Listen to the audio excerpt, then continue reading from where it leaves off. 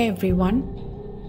The Nine Unknown Men of Ashoka was a secret society, or still is, of India, dating back to 273 BC to the regime of the Indian Emperor Ashoka, the grandson of Chandragupta Maurya, who was a founder of the Mauryan dynasty. Today, let's know about the mystery of the nine unknown men of the Mauryan Empire. Let's start the video, but before that, please don't forget to subscribe to the channel and like this video. Ambitious like his ancestors, whose achievements he was anxious to complete, he conquered the region of Kalinga, which lay between what is now Calcutta and Madras. The Kalingans resisted and lost 100,000 men in the battle. At the sight of this massacre, Ashoka was overcome, and all he could see were burnt houses and scattered corpses. This sight made him sick, and he cried the famous quotation What have I done? Upon his return to Pataliputra, he could get no sleep and was constantly haunted by his deeds in Kalinga. The brutality of the conquest led him to adopt Buddhism under the guidance of the Brahmin Buddhist sages Radha Swami and Manjushri, and he used his position to propagate the relatively new philosophy to new heights as far as ancient Rome and Egypt. According to the legend, upon his conversion to Buddhism, the emperor founded the Society of the Nine to preserve and develop knowledge that would be dangerous to humanity if it fell into the wrong hands. It is said that the Emperor Ashoka, once aware of the horrors of war, wished to forbid men ever to put their intelligence to evil uses. During his reign, natural science, past and present, was vowed to secrecy. Henceforward, and for the next 2000 years, all researchers, ranging from the structure of matter to the techniques employed in collective psychology, were to be hidden behind the mystical mask of a people commonly believed to be exclusively concerned with ecstasy and supernatural phenomena. Ashoka founded the most powerful secret society on earth, and that was the Nine Unknown Men. One can imagine the extraordinary importance of secret knowledge in the hands of nine men benefiting directly from experiments, studies, and documents accumulated over a period of more than 2000 years. What can have been the aim of these men?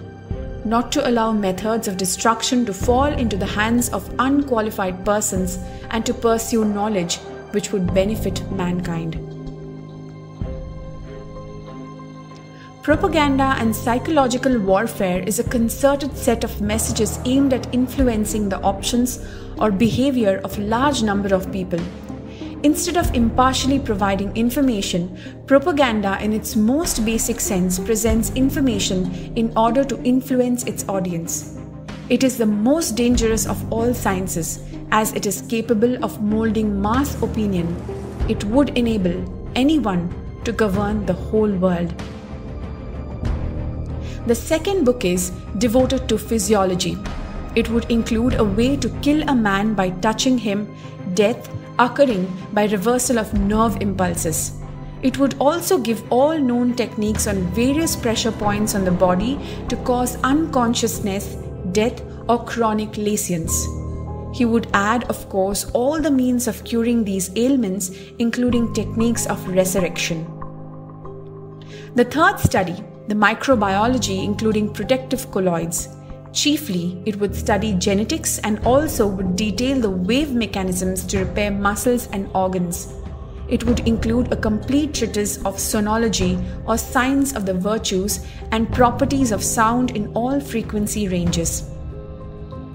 The fourth deal with alchemy, including the transmutation of metals and their secret properties such as hydrophobicity and hydrophilicity.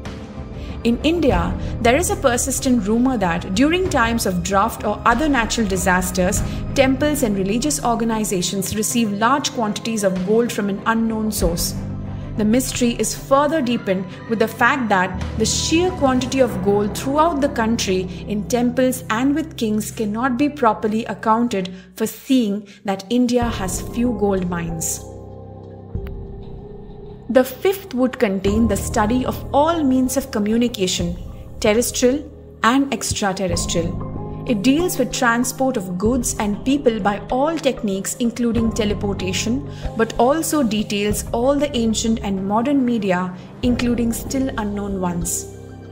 The sixth contains the secret of gravitation.